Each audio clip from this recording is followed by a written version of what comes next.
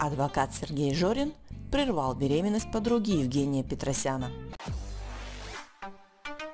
Не так давно в прессе активно обсуждалось видео, где у первой помощницы, юмориста Татьяны Брухуновой, отчетливо виден большой беременный живот.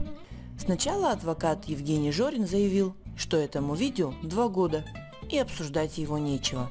Но тогда возник вопрос, а не родила ли Татьяна еще два года назад? Но и здесь Жорин нашел, что ответить. По видео нельзя точно сказать, что Татьяна беременна, а вот те скрины, которые появились в сети, подверглись фотошопу. Ну не знаю. Скрины, которые вы видите, сделаны лично с того самого видео, и никакой обработки тут не было.